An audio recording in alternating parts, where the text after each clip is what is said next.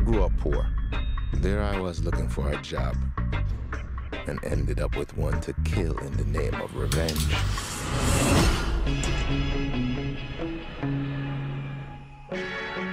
fact is that we live in America. I'm Karen.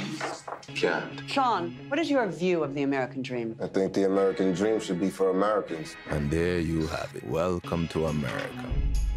You're hired. One slip up and you're fired. Do you understand me? Yes, sir. You're up early. Yeah.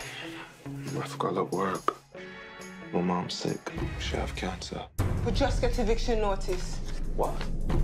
I have some things about you, Cat. Good or bad? Depends what side you on. Cops or the robbers. I've heard a lot about America. You ready for talk? The land of opportunity. What do you got for me? One minute you're robbing everybody, making money, fancy cars, then boom. Okay, okay, What, Cat, the police come and lock mommy up. Lock her up for what? When your back is up against the wall, it don't take much for someone or something to get you to that turning point. I know a lot of very rich people. Rob them, split the money. I have a suspect inside.